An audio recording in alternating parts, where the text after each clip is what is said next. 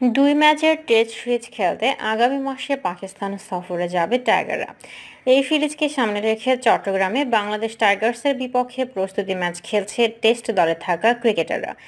এবার তিন আগস্ট থেকে মিরপুরে অনুশীলন শুরু করবে পাকিস্তানের বিপক্ষে টেস্ট স্কোয়াডের সম্ভাব্য ক্রিকেটাররা।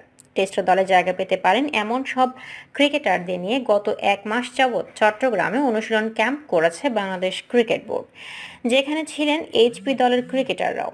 এবার অনুশীলন হবে ঢাকায়। লঙ্কান প্রিমিয়ার লিগ শেষ করে ইতোমধ্যে দেশে ফিরেছেন বাংলাদেশের চার ক্রিকেটার, তাসকিন আহমেদ, মোস্তাফিজুর রহমান, শরফুল ইসলাম এবং তৌহিদ ঢাকা পর্বের অনুশীলনে যোগ দেওয়ার কথা রয়েছে তাদের। কানাডার গ্লোবাল টি টোয়েন্টি লিগ খেলবেন সাকিব আল হাসান, রিশাদ হোসেন ও মোহাম্মদ সাইফুদ্দিন।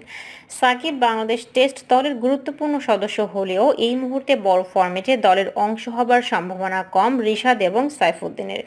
সাকিব কবে নাগাদ দলে যোগ দেবেন তা এখনও জানা যায়নি। দুই ম্যাচের টেস্ট সিরিজের জন্য আগস্টের দ্বিতীয় সপ্তাহে পাকিস্তানের উদ্দেশ্যে দেশ ছাড়বে বাংলাদেশ।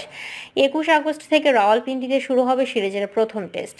তিরিশ আগস্ট থেকে করাচিতে দ্বিতীয় ও শেষ টেস্ট খেলতে নামবে দুই দল। পাকিস্তানের বিপক্ষে টেস্ট সিরিজের পর দুই টেস্ট ও তিন ম্যাচের টি টোয়েন্টি সিরিজ খেলতে আগামী সেপ্টেম্বরে ভারত সফরে যাবে বাংলাদেশ দল।